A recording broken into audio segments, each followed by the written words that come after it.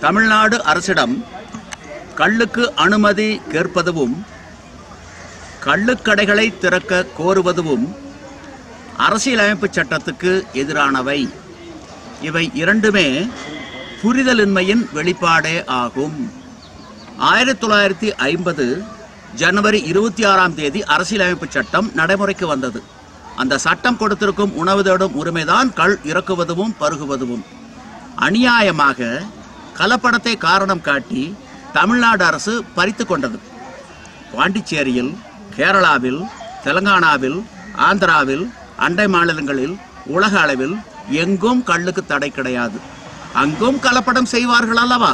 அந்த அரசுகளெல்லாம் கலப்படத்தை கட்டுப்படுத்துகின்ற பொழுது தமிழ்நாட்டில் எங்களால் மட்டும் கலப்படத்தை கட்டுப்படுத்த முடியவில்லை என்றால் தமிழ்நாடு அரசு ஆளுமை இல்லாத அரசா? ஆளுமை இல்லாமல் போனால் ஏன் ஆட்சியிலே இருக்க வேண்டும்? இறங்குங்கள் முதல்வர் பதவியிலே இருந்து.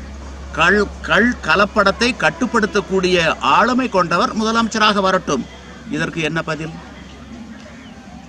ஒரு மரத்து கள்ள நாற்பத்தி எட்டு நாட்கள் ஒரு மண்டலம் தொடர்ந்து குடித்து வந்தால் பல நோய்கள் குணமாகும். இது மருத்துவம். ஏலம் கடை என்று இருந்தால் ஒரு மரத்துக்கள் கிடைக்குமா?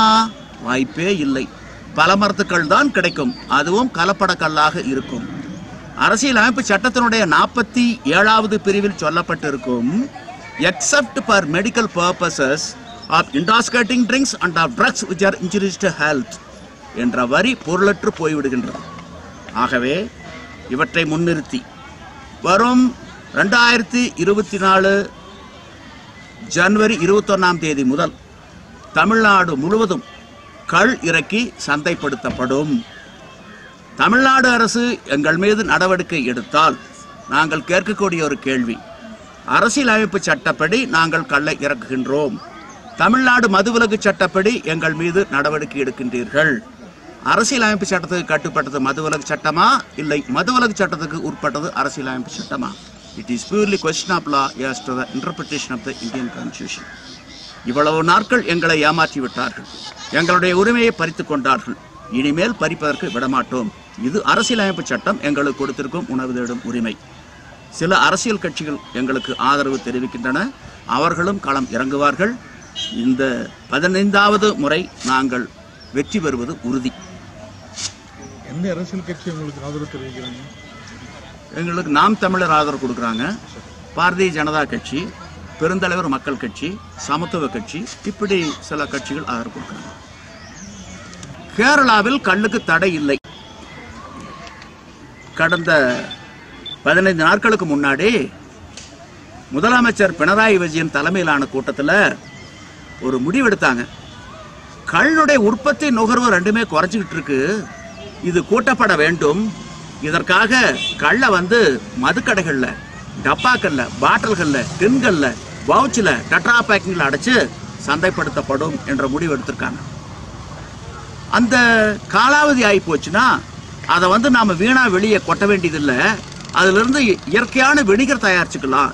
எது வீணாக போகிறதில்ல அப்படிங்கிற ஒரு முடிவு எடுத்திருக்காங்க.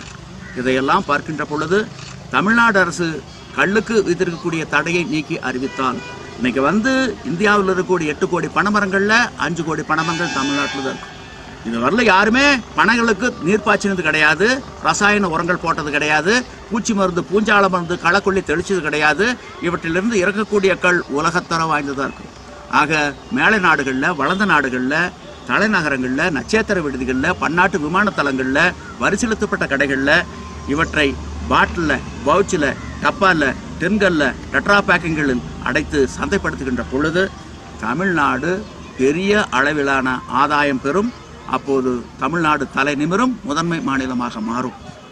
இதை வலியுறுத்தித்தான் வரும் ஜனவரி மாதம் இருபத்தொன்னாம் தேதி நாங்கள் கல் இறக்கி சந்தைப்படுத்துவதென முடிவெடுத்திருக்கின்றோம்.